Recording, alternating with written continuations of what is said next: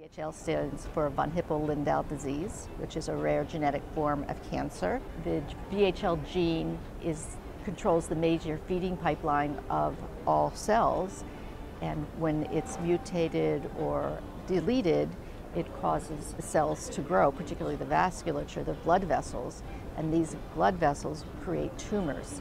In the case of VHL, it uh, occurs in about 10 different areas of the body, including kidney, adrenal, brain, spine, retina, lung, liver, the reproductive tract. I mean, it just goes on. And patients with VHL have, live with an endless number of tumors all through their lives. Each patient looks different.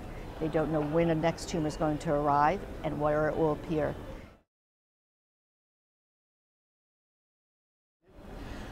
So they don't start out as malignant, and in some cases they don't become malignant. In the case of the kidney or the pancreas, they can turn into malignancy.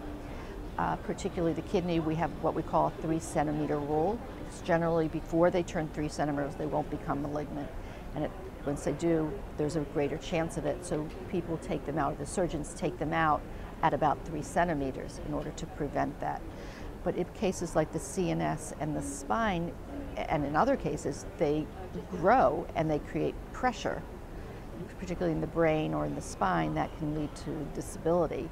And in the case of the brain stem, which is the con control center of the body, it becomes very tricky to take them out if they grow larger.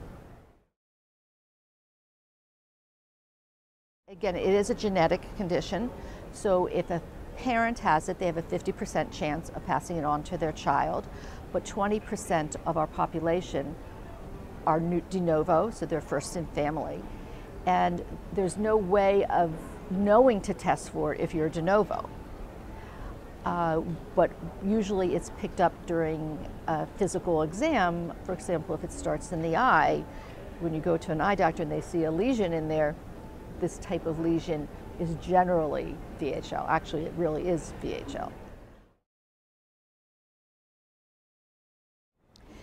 There are different types of VHL in terms of the genetic mutation, and there's more of a tendency for kidney versus adrenal and that type of thing. But what they're finding is, is that this, these tendencies are more of a gray.